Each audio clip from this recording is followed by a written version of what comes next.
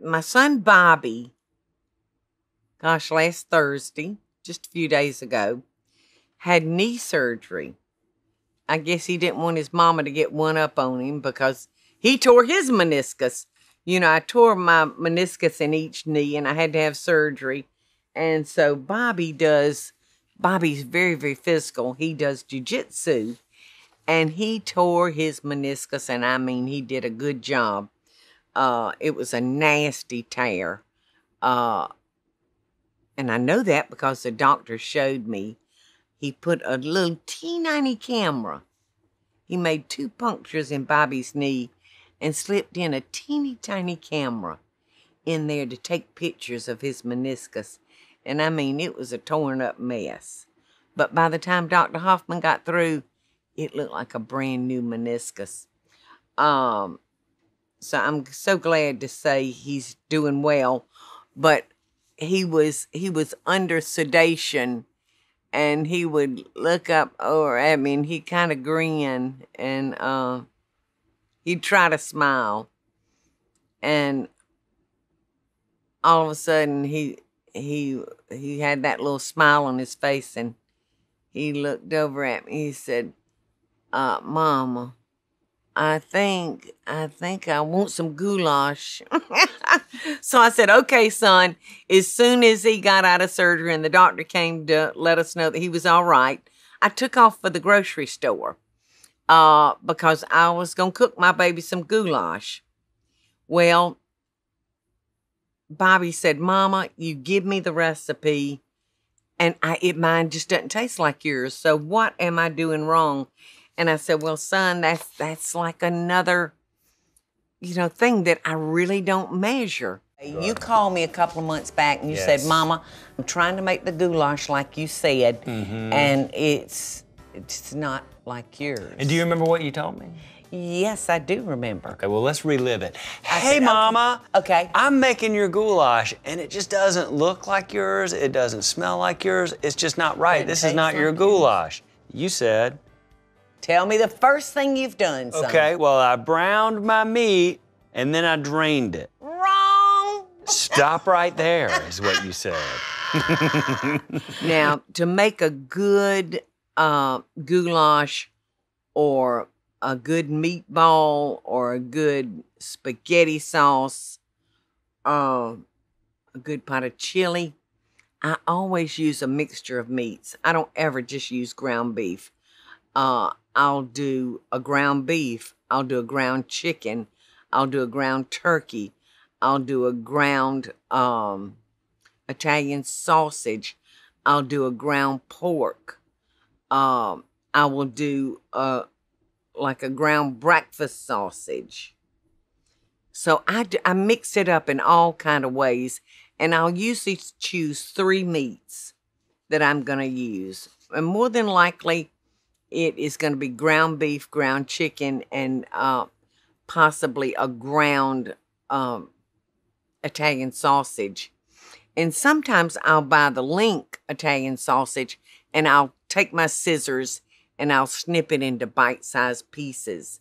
And I'll do it that way instead of using the ground. But if you look at the ingredients here, I mean, you've got a nice blend of meat. I see that you got a ground beef, you got a sausage, and maybe a chicken, is what it looks like. right, right. I got a, But- a chicken, and that's a mild Italian sausage that's out of the skin. Mm. I like the flavors of three different meats, Mm. and one of these meats is chicken, one is beef, and one is a mild Italian. yeah. But you could use uh, a breakfast sausage, you know, you, that you buy in those one pound rolls. Mm-hmm. Or you could get your butcher to grind you up just like fresh pork Mm-hmm. from their pork chops or whatever. It always, uh, anything you do, I think whether you do burgers or you do meatloaf or whatever, it's good to use a blend of meat. Yes. That always just adds a little something to it. Um, so you want to brown those off good.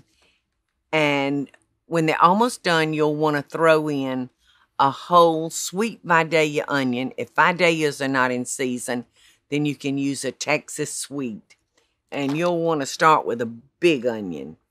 And you need to mince up about three fat cloves of garlic. And you'll want to toss that onion and uh, that garlic in with your ground beef.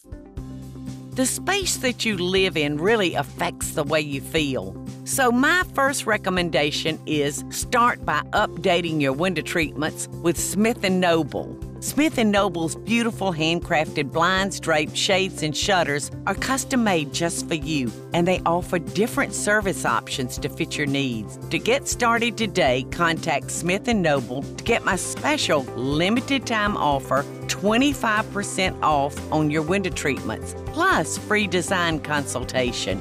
Create a space that you're gonna love.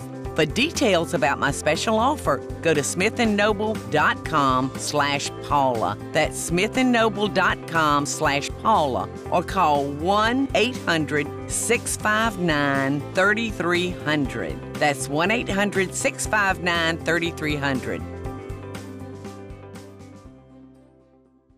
At this time, you would probably say to yourself, Self, I need to drain that fat off of this meat. But I'm telling you, don't do it because that's where all your flavor is. Uh, I know when I asked Bobby to walk through everything he had done with his goulash, the very first step was I cooked and drained my meat. I said, Well, stop right there. Drain it because that's where all your flavor is, son. So, uh, at this time, I, I like to add uh, a bouquet of like I go out to my herb garden. I'll get uh, thyme and rosemary and flat leaf parsley, you know, and whatever I had, and I'll tie them up with my cooking twine, and I'll throw that over, and then I'm gonna add two to three bay leaves, depending on how big they are. So I made us a little bouquet of the rosemary, uh, basil, and oregano. Beautiful. And like I said, because I don't have thyme, So what are you gonna do? You're just gonna toss that in like that? yeah, I'm gonna toss this in and let Really? that cook. Yes. And then I'm gonna add Into the meat or once the sauce is added? right there. Really? Yeah. And then I'll take it out. This is not at all the way that I make goulash. Well, you know what? There's probably this recipe's probably not in any of my cookbooks because I never do the same thing twice. And like I said, because I don't have thyme, I'm gonna add some extra Italian seasoning. Because remember, Bobby, that uh, I know you remember. Heck, I'm gonna put it on. and then I'm gonna add um, large, the largest can, a 28 ounce can of uh, crushed tomatoes. Now, this is very, very important.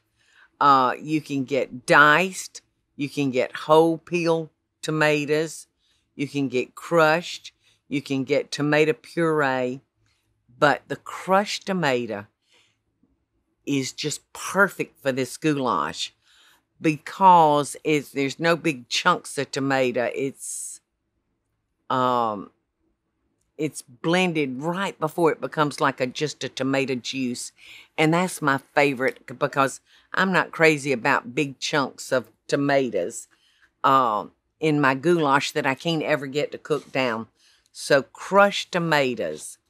And then you might put in a 15 ounce can of tomato sauce but you know what makes it so good? Um, i am in love with a product that Rao's restaurant puts out. You know, Rao's from New York City. Well, you can now buy their sauces at the grocery store, and they come in jars, and they're maybe a dollar or two more than the other brands, but y'all, it is so worth it. All right, so the rest is kind of, you know, really up to you as to what seasonings you like. Uh, we've got our little bouquet of fresh herbs in there, and uh, I'll add about a teaspoon to a tablespoon of red pepper flakes. And, you know, those red pepper flakes are hot. So put that in according to your um, ability to eat hot. And naturally, salt and pepper, or, you know, our house, our house um, seasoning mix, which is salt, pepper, garlic, and onion powder. And we're going to stir these uh, ingredients and let them cook for a while. Now, I use an elbow macaroni just like I would for macaroni and cheese, that same size and everything of macaroni noodles. Um, Now, there's a couple of different ways that you can do this.